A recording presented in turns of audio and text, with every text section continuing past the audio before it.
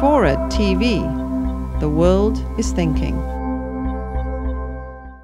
Question about China. It's scary. 1.3 billion of them, a growth rate of 10% for the last 10% a year for the last 5 years. And this is in a way even more staggering. Not since 1990 has the Chinese growth rate dipped below 7%. Query. Uh, you mentioned that India conducts its foreign policy as the British Empire used to, that is to say, with quite a clearly demarcated zone about which it cares.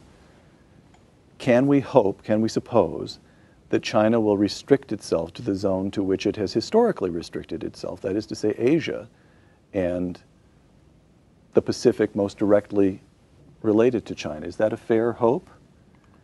Well, we can't, we can't know. We can't. Exactly. Know. But what we can say, we can say a number of things. One is that uh, it has never happened that a country pro- uh, grew at a rate of 10% a year indefinitely. Secondly, the Indian, uh, the uh, Chinese population, uh, partly as a result of the one-child family, mm-hmm. is producing a demographic problem of its own.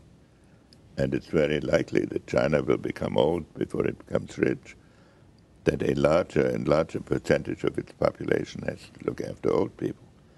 Then you have the problem of a country that on the coast is uh, like, let's say, Western Europe, and its interior highly underdeveloped. And at any one point, there are about 100 million Chinese on the road looking for, uh, for jobs. So you cannot project this as a world power in, that is going to be eager to project its power abroad. Uh, I think we have a number of decades mm. in which we can see whether we can build cooperative relationships with China and the United States such a, in such a way that it becomes second nature.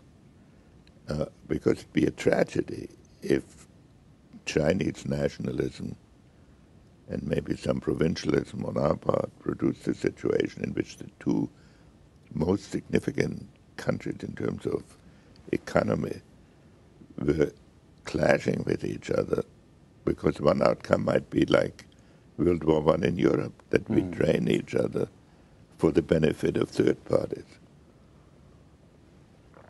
So it's avoidable. We have to try to avoid it. All right.